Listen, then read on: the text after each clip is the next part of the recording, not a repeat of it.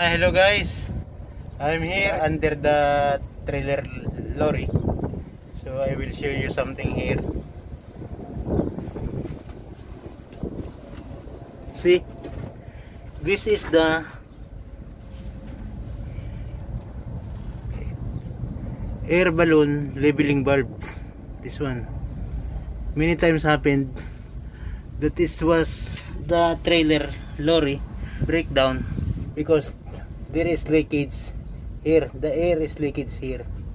So I have to show you something. How to repair it. Even with you don't have an uh, spare spare parts or repair kit. So hello guys. This is the trailer air balloon leveling valve. See this is the supply. This is going to the left side of the balloon. Is the right side. And this is the control. This is nothing so many cases happened here in workshop. That the driver called us that uh, he complained about the leaking of the air balloon leveling valve here in the downside here the breather. So I will show you some tricks how to repair it. There is one spare part that we will use to stop the leak. So we only need is to open this one using 27 spanner. Then remove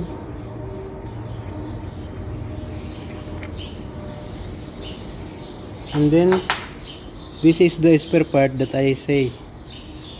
This one. And then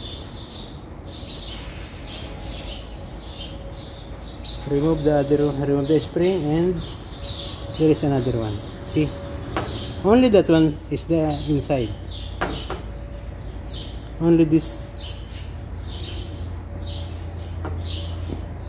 So this one as you can see if this is will damage the air is always leaking here. Even the air is always leaking here. So what we need to do is to change with this one.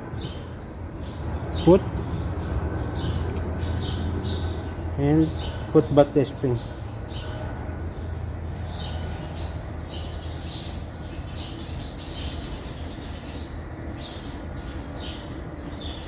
put back the spring. And then put this one in the top. And put the fittings. Put back the fittings.